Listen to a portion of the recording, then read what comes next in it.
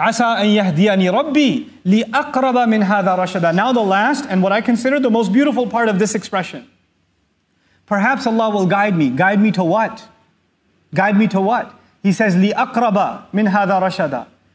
You know, the language of this is so profound. And in a, in a khutbah, I, don't, I can't give you grammar lessons because you'll have a headache. So I want to try to make this as simple as I can. In the Arabic language, sometimes you say over there, and sometimes you say all the way over there. When you say all the way over there, you're saying that I'm, I'm guiding you to your destination. If you just say over there, maybe you get over there, then you have to go somewhere else and somewhere else and somewhere else.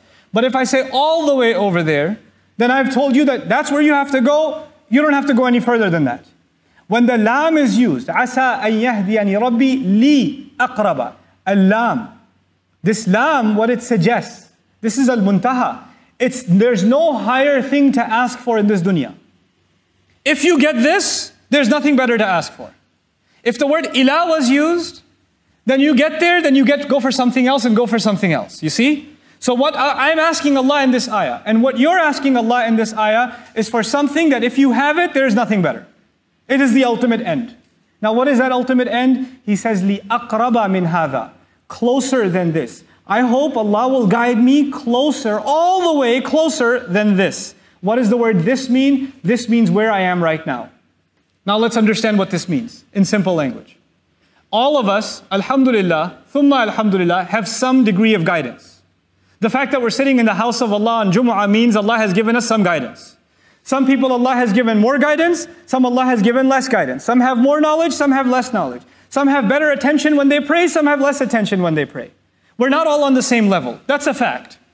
But you know what this dua is telling you? My ultimate goal is to get closer to Allah than I am today. I am not here to compare myself to someone else. I'm just here to compare myself from where I am right now. If I can just work on getting better than what I am right now, that is the ultimate success before Allah. There is no higher success. You will never become perfect, I will never become perfect. All we can work on is becoming a little bit better, and then a little bit better, and then a little bit better. Just getting a little closer to Allah and a little closer. And if a person dies becoming closer to Allah, they are successful. You don't, and a lot of people, you know what they do? They compare themselves to others. Well, this one's already memorized the entire Quran. Look at how they recite. They're at the masjid every single day. They're there before the adhan is even called. They're, you know, they're worshiping Allah so much more. They're so much more knowledgeable. They have so much more. They, they know Arabic. They know tafsir. They know this. They know that You know, or they dress better as Muslims than I do. You know? Don't compare yourself to anybody else. That's not what Allah wants. Allah is not going to put you next to someone else and compare. He doesn't even want you to compare yourself to others in dunya. Forget akhirah. Not even in dunya. لا تتمنوا ما فضل الله به بعضكم على بعض. Don't wish for what other people have. What Allah has given some preference over others. Don't do that to yourself. So what is what are we learning then? We're learning that if, for example, you're starting to recite Quran today, you, are 35 years old, you haven't read, you haven't even opened the book for 30 years, and you decide to start reading Quran today, you can't even get through Bismillah. You don't even know what a ba looks like anymore. Now you have to learn like children. There are people who are your age who can read like adults, but you have to read like a child. But that's okay. That's okay. When you learn even that alif or that ba, and you make a little bit struggle closer to Allah, and you died that way, maybe you're better than even a alim. Maybe you're better than a hafiz of Quran who memorized the whole book but has no appreciation, didn't want to make themselves a better person. Because who wants to make themselves a better person is in the heart, and Allah knows that. So don't underestimate where you are with Allah. People can underestimate you, Allah does not underestimate you. People make it sound like guidance from Allah is hard, it's expensive, it doesn't come easy. And Allah is opening the doors of it wide open.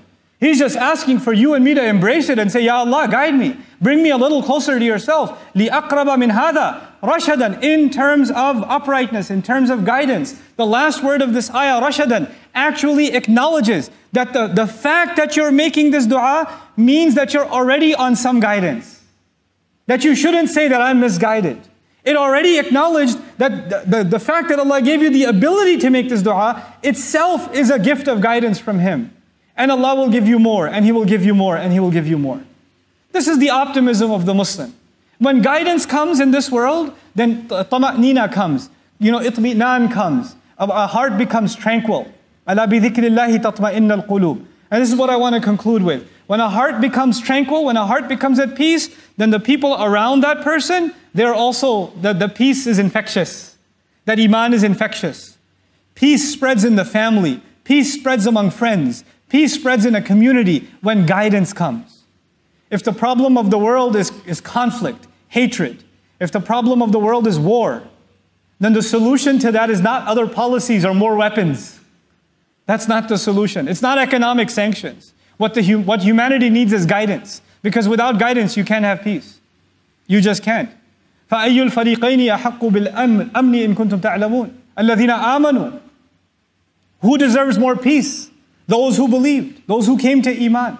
This is what we're asking Allah Azza wa Jal. When you and I make dua for peace in the world, for peace in the Muslim lands, for peace for those who are oppressed, when we make those du'as, then we're actually directly, directly asking Allah to increase us and the world around us in guidance. May Allah Azza wa increase all of us in guidance and make us of those who are positive about their future, their own future, the future of their children, the future of this ummah, and the future of the world over. This entire world, we have to be concerned for it. Not just our own ummah, the entire world. We are the millah of Ibrahim alayhi salam. Ibrahim alayhi salam used to be concerned for all of humanity. That is the legacy that we've, we've inherited.